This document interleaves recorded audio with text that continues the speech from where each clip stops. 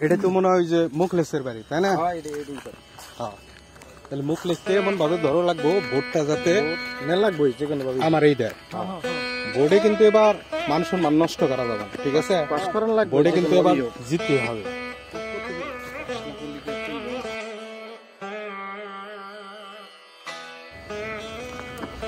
আসসালামু আলাইকুম। ওয়ালাইকুম আসসালাম। কি অবস্থা মুখলেস মিয়া? কেমন আছো? ভালো আছেন তো এ বসো বসো বসো বসো উঠতে হইব না উঠতে না।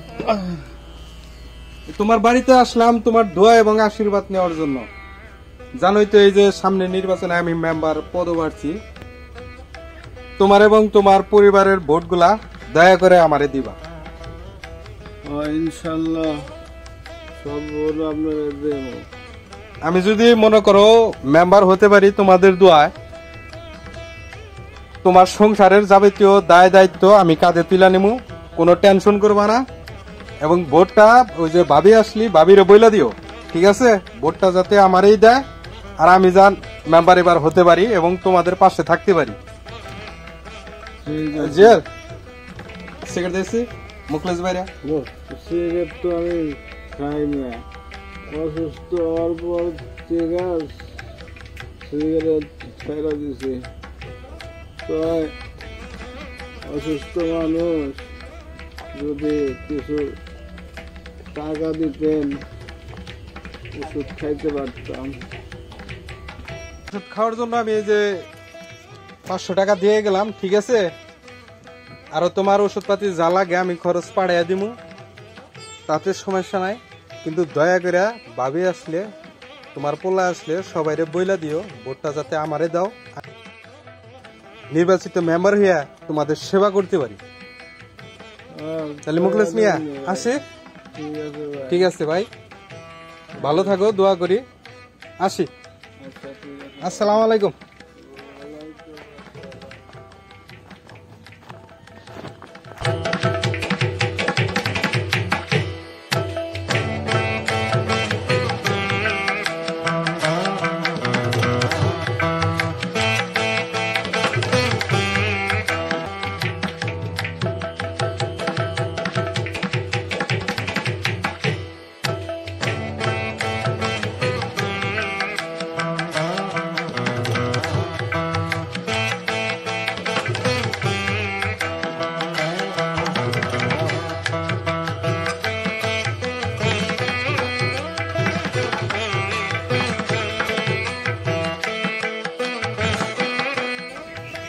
আসসালামু আলাইকুম নাম্বার সাহেব ওয়ালাইকুম আসসালাম। ভালো আছেন তো নাম্বার সাহেব এই তো আছে আলহামদুলিল্লাহ। শালা ন্যাংরার বাচ্চা আমার আর সময় না। এই মুহূর্তে গাঞ্জা ডলতেছি শালা এই মুহূর্তে আছিস মুখলেস মিয়া এই অসুস্থ শরীর লিয়া তুমি হঠাৎ আমার কাছে কি মনে করে? আইসি তো বড় আশা নিয়ে মেম্বার সাহেব নির্বাচনের সময় আপনি কইছিলেন আমার একটা প্রতিবন্ধী কাজ করে দিবেন। তা তো আর দিলেন না। তাই আইলাম আপনার বাড়িতে। ইসিরে মুখলেস মিয়া, তোমারে যে কি কইয়া সান্ত্বনা দেমু? তাহলে আর তুমি কয়টা দিন আগে আইবা না? কাঠ যে কটা আমি পাইছিলাম কাঠ তো সব শেষ হয়ে গেছে গা। আমার কাছে তো কোনো কাঠ টাট নাই।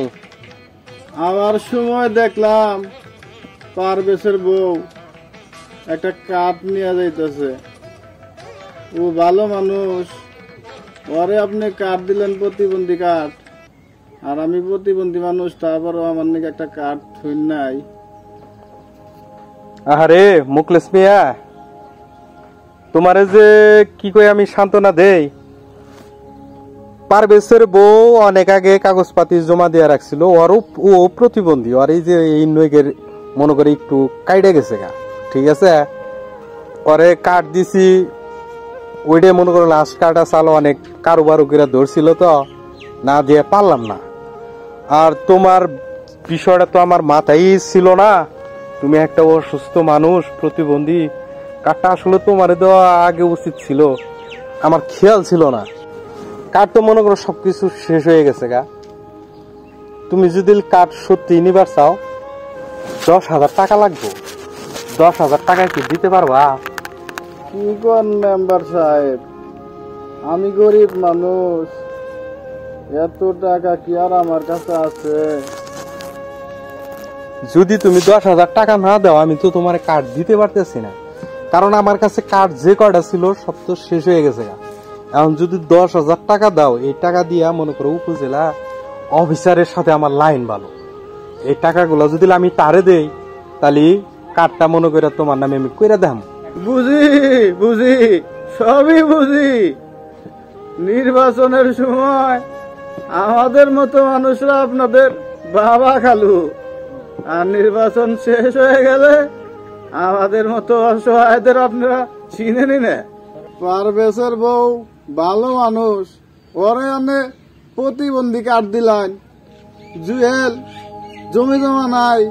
ওরে অনেক গমের বীজ দেন, ধানের বীজ দেন, শামিম রে কত কিছু দেন। তারপরে বাবু হেদিনকে বিদেশ থেকে এলো কম্বলের মধ্যে ঘুমাই শীতের মধ্যে। হেরে অনেক কম্বল দিলেন। আর আমরা গরিব মানুষ, আম করে কোনো কিছু দিবার গেলে দশ হাজার করে টাকা চান।